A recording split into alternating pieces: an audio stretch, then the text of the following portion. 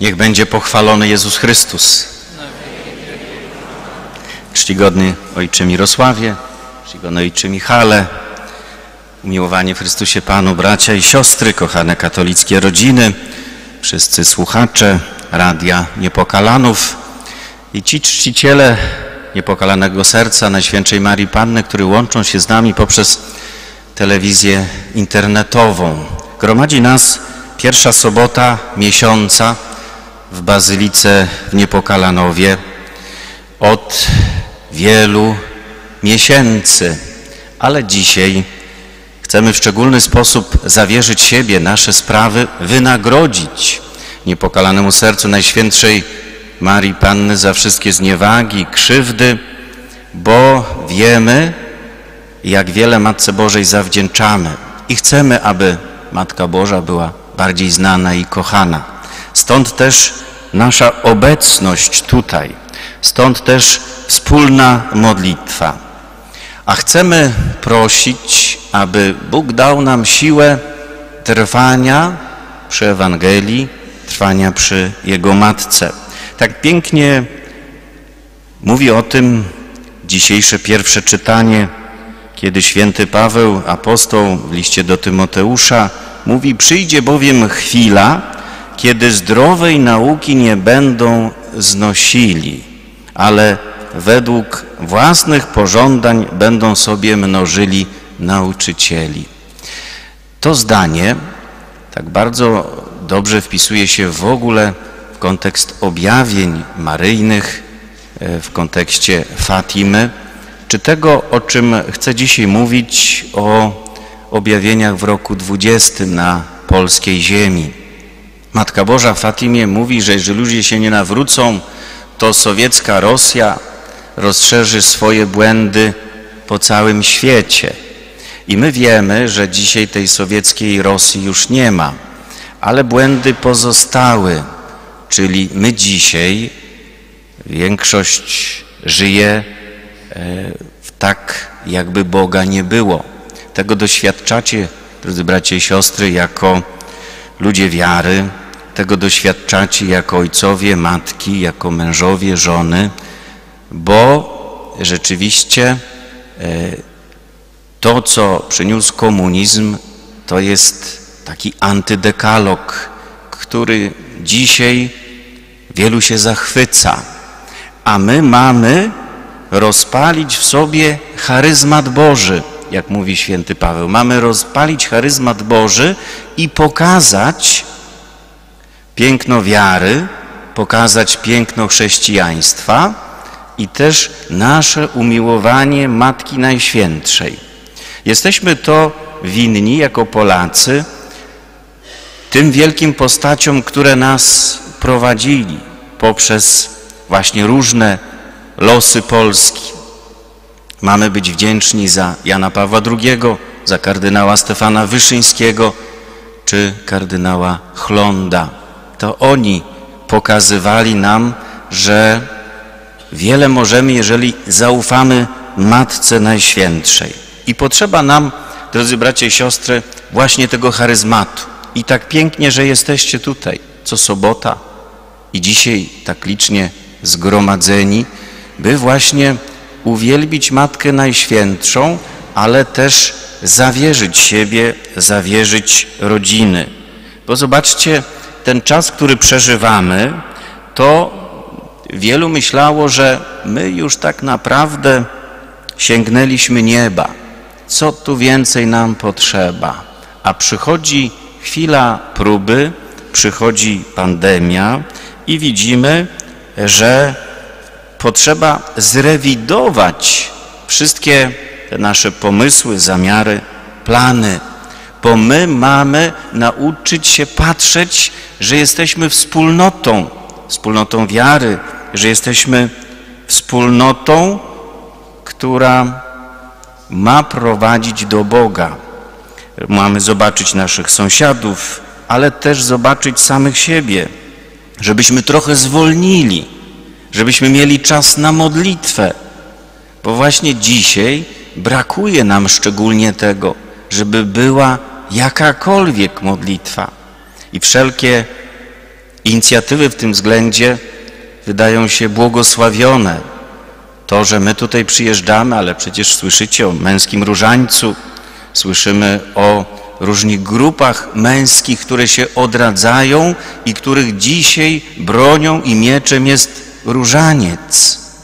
Jeżeli uczestniczyliśmy w Warszawie w pierwszą sobotę miesiąca i widzimy 400 mężczyzn, którzy wychodzą z różańcem na plac zamkowy, modlą się przy Matce Bożej Passaskiej, robi to wrażenie.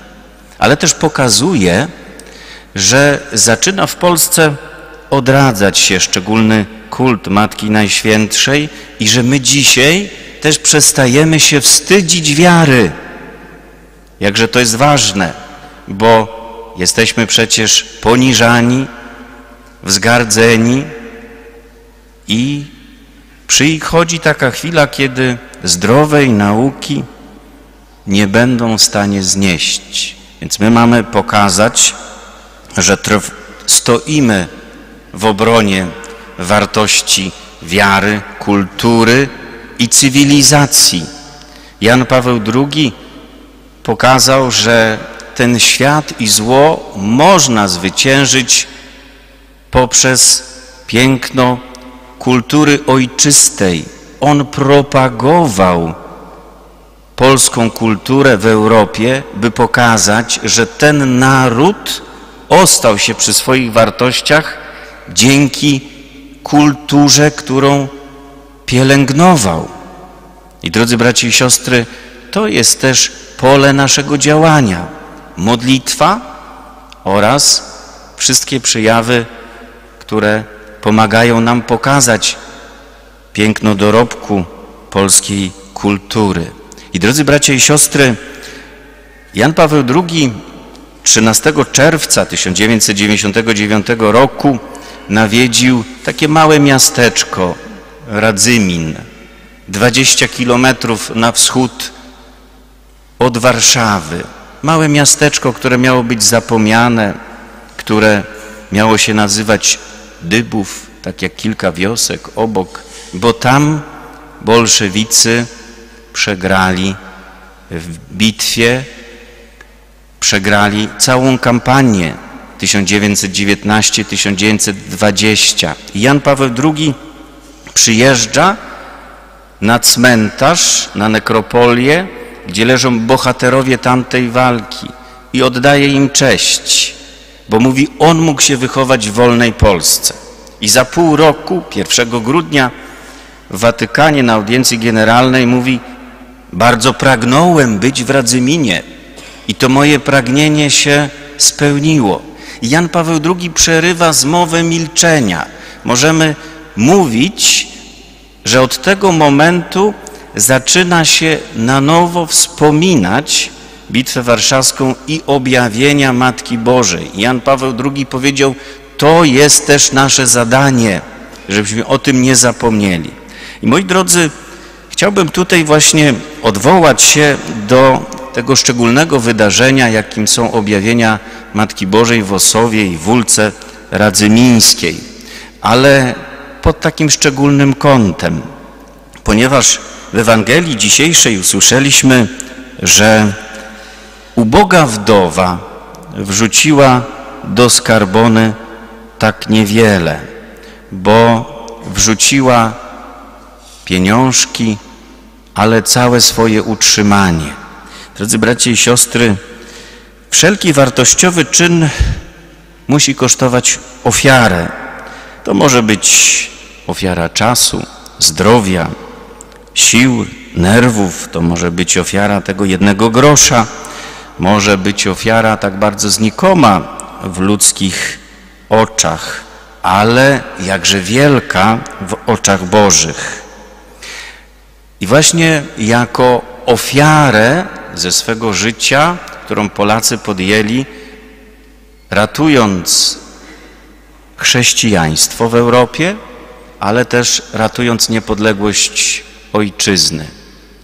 Ten wdowi grosz odnieśmy do ofiary życia, jaką Polacy złożyli w obronie ojczyzny. Kochani, Matka Boża ukazała się w 1920 roku dwa razy. 14 sierpnia w Osowie i 15 sierpnia w Wólce Radzymińskiej. Ale to ukazanie było wyjątkowe, niespotykane na świecie, o czym my nie wiemy, bo trwała zmowa milczenia wiele lat. Wyjątkowe, bo publiczne. Nigdzie Maryja nie ukazuje się tak olbrzymiej liczbie ludzi na raz. Może być kilka osób, jedna osoba, ale publicznego objawienia nie ma. Ale dlaczego Maryja się objawia? Bo Polacy się modlą, cała Polska wtedy się modli na kolanach, proszą o cud, a niektórzy świadomie oddają życie za wiarę. I dlaczego Matka Boża się ukazuje w Osowie? Bo tam ginie kapelan, ksiądz Ignacy Skorupka, ale zanim e, zginął, to moi drodzy, on oddał swoje życie świadomie. To znaczy, był u spowiedzi generalnej u ojców kapucynów na Miodowej. W testamencie napisał, że długi za wpisy szkolne spłaca swym życiem, za wpojoną miłość ojczyzny płacę miłością serca, proszę mnie pochować w stule i Albie. Takie wydał dyspozycje. On wiedział, że odda życie, odda życie za ojczyznę. Jak to wygląda historycznie? Zostaje wysłany do wsparcia zagrożonego frontu w Osowie. Tam walczą doborowe, doborowe sowieckie wojska, którym, e, którymi dowodzi Hachanian. Oni walczą na Syberii mają karabiny maszynowe, a ze strony polskiej Legia Akademicka, gimnazjaliści, licealiści, harcerze. Więc możemy sobie wyobrazić, jaka jest dysproporcja. I tam rzeczywiście jest rzeź. To jest rzeź. Ponieważ to są młodzi ludzie. Tam jest rzeczywiście no, wyjątkowa sytuacja. Nie mogą sobie poradzić. A Rosjanie chcą zdobyć Warszawę. Dlaczego? W Wyszkowie ksiądz Wiktor Mieczkowski zapisał po tej wizycie na plebanii, że mają pozwolenie na trzy dni rabowania, palenia, gwałcenia. Trzy dni. I oni chcą tą Warszawę zdobyć. Słyszą, jakie tam są bogactwa. Wypytują, które ulice, gdzie są jakie firmy. I oni, to jest kwestia czasu dla nich, kiedy zdobędą. I ksiądz Mieczkowski pisze, że Warszawa sobie nie zdawała sprawy, co ją czeka. I ksiądz Ignacy Skorupka z batalionem takich młodych chłopaków idzie na wsparcie do Osowa. I rzeczywiście 14 sierpnia rankiem zaczyna się atak, kiedy E, to polskie, e, polska obrona się załamuje. Oni w międzyczasie docierają nad ranem do Osowa, wycofające się wojska mają problem, ale tutaj pojawia się batalion młodych ludzi, więc rzucają ich do ataku. Ale ci młodzi chłopcy mają trzy dni przeszkolenia, oni nawet nie wiedzą jak strzelać. To dowódcy im broń muszą ładować. Więc popłoch jest E, tak jak mówiłem, karabiny maszynowe, one mają iść w tylarierze. Nie wiedzą nawet jak to robić. I potrzebny jest ksiądz Korubka, bo on prosi dowódcę, żeby mógł z nimi iść w tylarierze. I on się zgodził. I wiemy, że idzie w tylarierze i ci młodzi ludzie idą za nim. Pada jako jeden z pierwszych, ale w tym czasie ukazuje się Matka Boża. To jest właśnie niezwykłe, że w momencie, kiedy oni atakują, to jest nad ranem, Polacy widzą mgłę o takim dziwnym zabarwieniu, jakąś taką poświatę, a Rosjanie widzą objawiającą się Matkę Bożą. Część z nich jest ateistami, ale część trochę wiary zachowało, bo przecież Rosja prawosławna. I następuje takie pierwsze przerażenie, że walczą z Matką Bożą. I zobaczcie, ofiara życia, świadoma ofiara życia księdza Skorupki, świadome zaangażowanie Polaków, którzy się modlą, powoduje objawienie się Matki Bożej, łaskawej, Matki Bożej my nazywamy zwycięską, ale bolszewicy widzą realną postać, nie widzą obrazu, tylko widzą realną postać. I co ciekawe, zobaczcie, Polacy tego nie widzą, a ateiści to widzą. Czyli legnie w gruzach taki dogmat komunistyczny, że nie ma Boga, a oni widzą, że jest Matka Boża. I można powiedzieć, że od tej chwili zaczynają bolszewicy uciekać przed Polakami. Do tej pory Polacy uciekali przed bolszewikami. I to jest to pierwsze objawienie, ale drugie było bardziej spektakularne. To było w Wólce Radzymińskiej i związane jest z drugą postacią, świecką osobą, żołnierzem, porucznikiem Stefanem Pogonowskim. 25 lat chłopak miał. Sześć lat na wojnie, 25 lat i sześć lat na wojnie. I on miał za zadanie zabezpieczyć tylko swobodny przemarsz wojsk z Nieporętu do Rembertowa. I tam po drodze jest taka miejscowość jak Wólka Radzymińska. On miał zabezpieczać, bo Rosjanie tam już przełamali front. I on w nocy 15 sierpnia, z 14 na 15 widzi wojska sowieckie świętujące, grzejące się przy ogniskach. Jest dużo ognisk. On nie miał, złamał rozkaz, bo on nie miał ich atakować. On miał tylko stać na straży.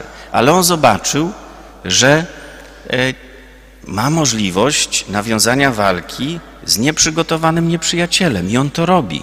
I okazuje się, że jest to newralgiczny punkt, centralna bateria artylerii sowieckiej i kiedy nad ranem jeszcze ciemno, wywiązuje się walka, w dużej mierze chaotyczna walka, bo w ciemnościach nikt Ciebie nie widzi. Więc Rosjanie strzelają z armat, Polacy strzelają z karabinów i objawia się im Matka Boża, która no, w takiej groźnej postaci starczą, gdzie Rosjanie strzelają, a te pociski odbijają się i wybuchają na ich tyłach. I oni widzą poświatę, aureole Matki Bożej, powiewający płaszcz i w relacjach potem mieszkańców, świadków zaczynają uciekać w popłochu. Zaczynają uciekać w popłochu. I znowu Polacy nie widzą Matki Bożej, a widzą Rosjanie. I widzą też obok Matki Bożej chówce żołnierzy polskich spod Wiednia, czyli husarię. I tak namalowany jest obraz Kosaka, który pokaz, połączył te dwa objawienia. U góry mamy objawienie na tym obrazie Wólce Radzymińskiej, a na dole to, co działo się w Osowie. I zobaczcie, znowu Matka Boża objawia się tam, gdzie młody człowiek, porucznik Pogonowski, składa życie w ofierze za ojczyznę. Kilka dni wcześniej jest w Łodzi, żegna się z rodziną, wybiera miejsce na grób, wydaje dyspozycje co do spraw osobistych, mówi jak chce być pochowany i świadomie oddaje życie za ojczyznę. Generał Lucjan Żeligowski powie potem, że śmierć Pogonowskiego jest momentem zwrotnym. W tym miejscu odwróciła się karta wojny. Moi drodzy, tak jak powiedzieliśmy, nie wiemy, dlaczego polscy żołnierze nie byli świadkami tego wiekopomnego cudu, a zobaczyli, nie zobaczyli swej hetmanki królowej. A dlaczego zobaczyli ją ateiści? Dla nas była to próba wiary. Błogosławieni, którzy nie widzieli, a uwierzyli. Moi drodzy, w tym roku setnej rocznicy urodzin Jana Pawła II, setnej rocznicy Bitwy Warszawskiej, Spróbujmy przyjrzeć się temu wydarzeniu, bo ono jest wyjątkowe nie tylko w naszej historii, polskiej historii, ale wyjątkowe w historii Europy. A zmowa milczenia o nim spowodowała, że mało na ten temat wiemy.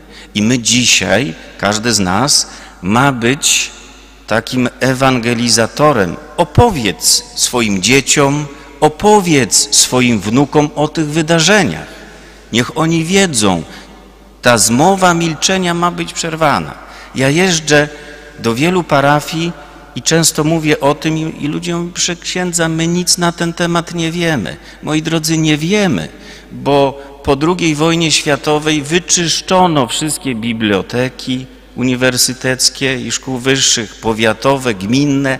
Wszelkie książki, które mówiły na temat XX roku zostały skrzętnie zniszczone. My nie mamy na ten temat literatury. Dopiero trzeba sięgać na nowo. I Bogu dzięki, że są tacy jak profesor Andrzej Nowak, czy wielu innych, którzy przypominają, czy też ksiądz Bartnik, czy pani Storożyńska, którzy napisali książkę Matka Boża Łaskawa, Cud nad Wisłą. Moi drodzy, bądźmy dzisiaj tymi, którzy te wydarzenia będą propagować i przypominać. Nie doszłoby do spektakularnego cudu w 1920 roku, gdyby Maryja nie była wzywana przez swoje dzieci, nie byłoby, gdyby nie było powszechnej, żarliwej, wytrwałej modlitwy całego ludu i Polacy zdali egzamin.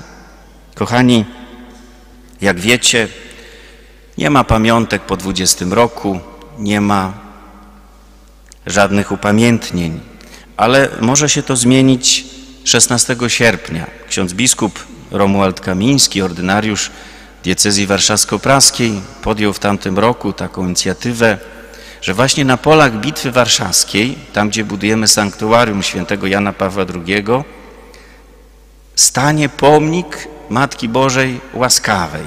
Będzie to taka trzymetrowa statua na siedmiometrowym e, obelisku, pokazuj, nawiązująca, mająca atrybuty tej Matki Bożej, która się ukazała w 20 roku. I być może będzie to jedyne dziękczynienie po stu latach za tak wielką bitwę, którą porównuje się z bitwą wiedeńską, z bitwą pod Grunwaldem, a o tej bitwie była zmowa milczenia. Więc my mamy zadanie, wielkie zadanie, bo świadomość naprawdę w tym względzie jest niewielka.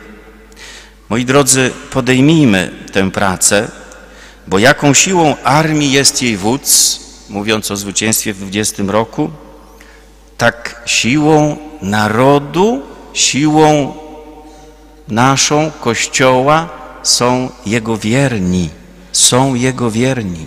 To od nas zależy, jaka będzie przyszłość Polski, jaka będzie przyszłość naszych rodzin. A mamy wielkie zadanie. I kończąc, bardzo Was proszę, żebyśmy wzięli sobie to do serca. Jan Paweł II przed katedrą warszawską, praską zostawił nam taki testament, że Kościół tworzy się przez Eucharystię, Eucharystia tworzy Kościół i mówi tak coraz to nowe pokolenia Polaków wzrastały, tak było od wieków, tak jest do dzisiaj. Jan Paweł II powiedział wtedy, przekażcie następnym pokoleniom Ewangelię i Eucharystię. Przekażcie następnym pokoleniom Ewangelię i Eucharystię. I dzisiaj, w tę pierwszą sobotę miesiąca, kiedy zawierzamy się Matce Bożej, jej niepokalanemu sercu, też podejmijmy taką intencję, aby wynagrodzić Matce Bożej nie tylko za grzechy, ale za te sto lat zapomnienia. Amen. Szczególny sposób chcę Was wszystkich zaprosić 16 sierpnia o godzinie 12 będzie msza święta polowa. E, powiem, że Matka Boża e, jest już wykonywana. E, ksiądz biskup już zatwierdził jej tę postać została wywieziona do warsztatu, gdzie w odlewni będzie ten pomnik z brązu odlany i też złożyliśmy dokument o pozwolenie na budowę, która myślę może pod koniec czerwca albo na początku lipca ruszy, tak żebyśmy 16 sierpnia mogli świętować. Zapamiętajmy, 16 sierpnia, godzina 12, pola bitwy warszawskiej, Radzymin, trasa S8 z Warszawy na Białystok. Wszystkie drogi tam prowadzą. Serdecznie Was zapraszam i dziękuję dzisiaj za Waszą uwagę i cierpliwość. Niech będzie pochwalony Jezus Chrystus.